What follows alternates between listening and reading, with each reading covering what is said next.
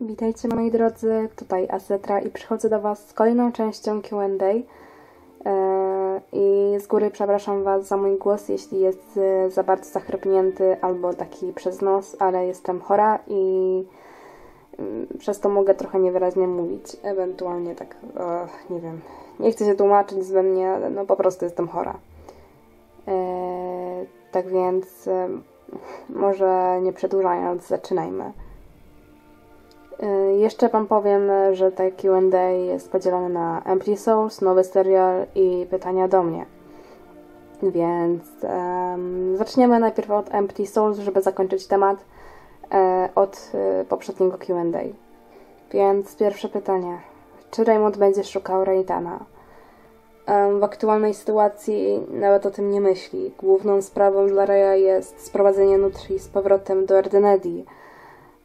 W aktualnej sytuacji Erdenedi ma 75% ym, funkcjonalności, więc jest niedosyć sprawne.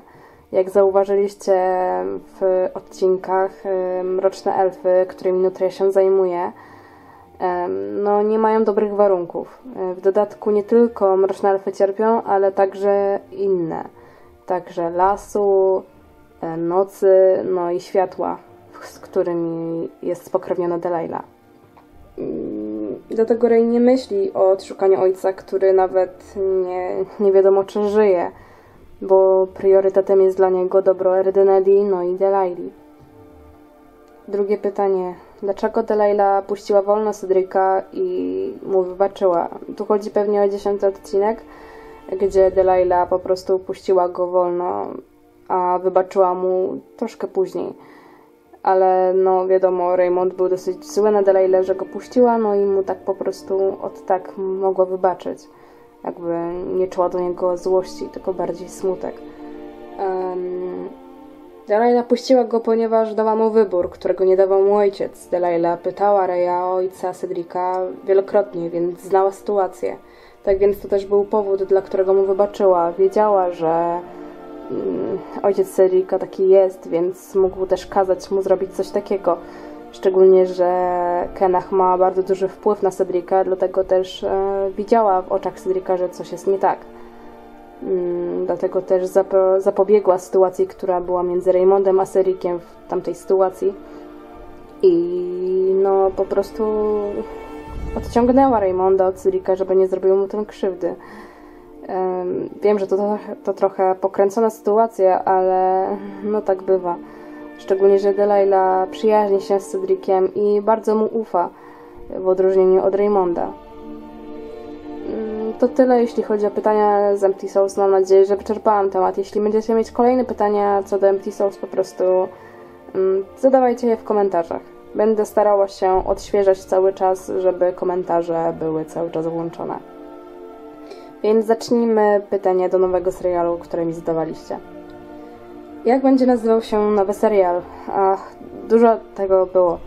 Em, po polsku wam powiem, bo po angielsku to chyba będzie The Eyes of the Soul, czyli Oczy Duszy. Myślę, że to bardzo ładny tytuł, e, a wy się dowiecie później, co tak dokładnie oznacza. W trakcie będziecie wiedzieć, o co chodzi. Teraz, no na razie za dużo wam nie powie. E, Jaka będzie tematyka nowego serialu? Mm, Myślę, że bardziej mroczna, bardziej pod moje klimaty, no i e, myślę, że bardziej poważna, ale też bardzo wyluzowana. Tutaj jest trochę napięty klimat i wszystko dzieje się bardzo chaotycznie, chaotycznie. y, a tutaj będzie trochę się działo powoli, ale też bardzo dokładnie i myślę, że bardziej rozplanowanie niż w Empty Souls. Empty Souls jest głównie chaotyczne i bardzo ekspresyjne i bardzo dużo się w nim dzieje naraz.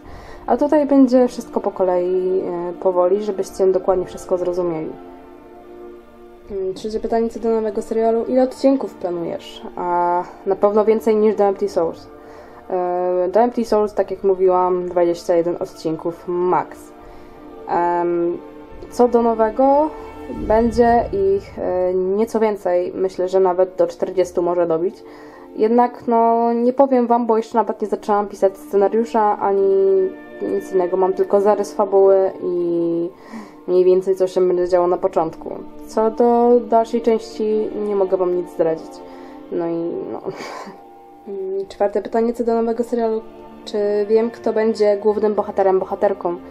E, nie zdradzę Wam, kto będzie, ponieważ tych bohaterów będzie wiele e, głównych. E, oczywiście będzie się opierało na jednej osobie głównie, ale jest bardzo dużo bohaterów głównych i będzie się głównie opierało na ich wszystkich, nie tylko na tej jednej osobie, która będzie głównie pokazywana, szczególnie w pierwszych scenach. Tak więc. No nie zdradzę Wam, kto będzie, jaki to będzie dokładnie pet shop, chociaż e, już pokazywałam głównie chyba na Instagramie, więc no Instagramowicze wiedzą mniej więcej, kto tym będzie, czy on, czy ona. E, tak więc no nie zdradzę nic za wiele, ale powiem, że będzie wiele, bo historia będzie głównie oparta o tych wszystkich bohaterów. Będziecie musieli się po prostu domyśleć, kto będzie głównymi bohaterami i tyle.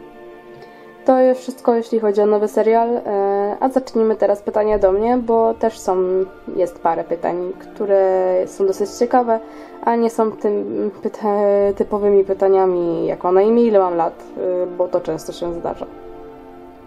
Tak więc pytanie pierwsze. Zrobisz kiedyś room tour? Aktualnie nie zrobię, ponieważ jestem w swoim pokoju starym i dopóki nie wyremontuję nowego pokoju, w którym aktualnie nie siedzę i nie jestem i na razie nie mam do niego dostępu. Nie jestem w stanie Wam nagrać, ponieważ no, no, nie chcę w tym pokoju Wam nagrywać roomtouru, bo ze względu na to, że nie wygląda ten pokój tak, jak ja bym chciała, więc jest niekompletny i nie chcę Wam pokazywać czegoś, co nie jest kompletnie skończone.